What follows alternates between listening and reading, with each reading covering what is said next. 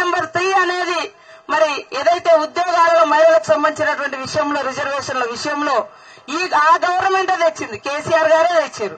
ఇది ఇచ్చినట్టే ఇచ్చిరు. అటు కోర్టు పోయి మళ్ళీ కేసులు వేసి నోటిఫికేషన్ ఇచ్చుడు ఉద్యోగ పత్రం చేతిలో పెట్టకుండా వాళ్ళని అట్లనే తిప్పుడు.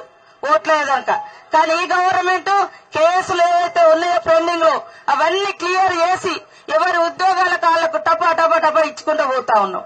దాంతో ఆమె రకరకాల మాటలు మాట్లాడుతుంది. అమ్మ మీ గవర్నమెంట్లో మొదటి ఐదేళ్ళలో ఒక్క మహిళ కూడా మీకు మంత్రిగా కనపడలేదు. అదే విధంగా మహిళా సంఘాలు గత ప్రభుత్వం మరి వైఎస్ఆర్ గారు పెట్టినటువంటి సంక్షేమ మహిళా సంఘాలను పావుల వడ్డీ గాని అభయ హస్తం గాని ఇస్తే అవన్నీ పక్కకు నెట్టేసి వాళ్ళని పక్కన పడేసిరు మీరు. కానీ మేము అందరం ఎక్కిస్తున్నాం అగ్రభాగాన ఆర్థికంగా ముందుకు తీసుకొస్తున్నాం.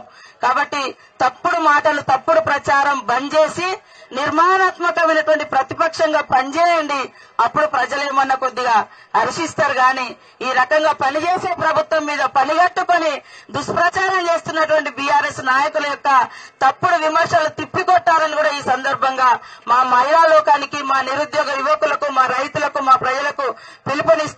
ఈ రోజు ఇన్ని గొప్ప కార్యక్రమాలకు శ్రీకారం చుట్టినటువంటి మా సోదరిమణి స్థానిక ఎమ్మెల్యే మినిస్టర్ గారికి సురేఖక్క గారికి ధన్యవాదాలు తెలియజేస్తూ నమస్కారాలు. అందరికీ నమస్కారాలు.